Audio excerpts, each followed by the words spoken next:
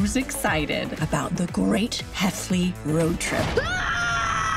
People love road trip movies so much because everybody's been on a road trip when they're a kid. Everybody knows just how much fun they are, but they know how frustrating they are and all the things that can go wrong that do go wrong. I think people have fond memories of taking road trips, and that's what we tried to tap into with this movie.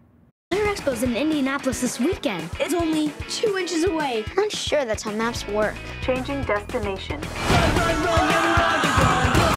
Finding our new Greg and Rowley was a massive effort. We put out a casting call. We saw about 2,000 Gregs. It really, and it took a long time to narrow down. There's a lot of talent out there.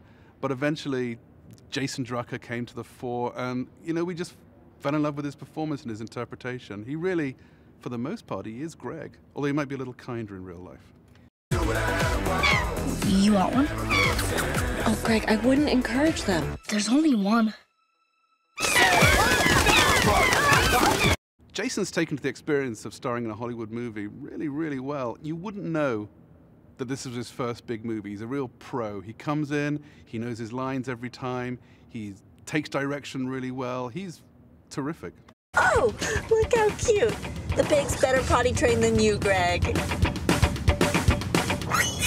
Oh my God! Susan is played by Alicia Silverstone. We are super lucky to get her. She's an amazing actor. She's very, very, very funny. And she's also a mom, so she's able to tap into her own experiences when she's playing Susan. I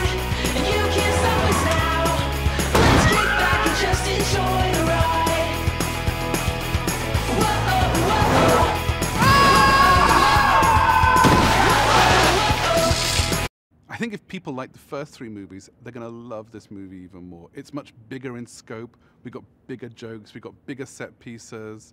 Uh, we have the whole family in the whole movie, which is a change for a Wimpy Kid film. Usually it's, you know, Greg goes off with a bunch of kids and the family are just peripheral. But in this movie, the family are at the center of the movie. And that's the first for a Wimpy Kid film.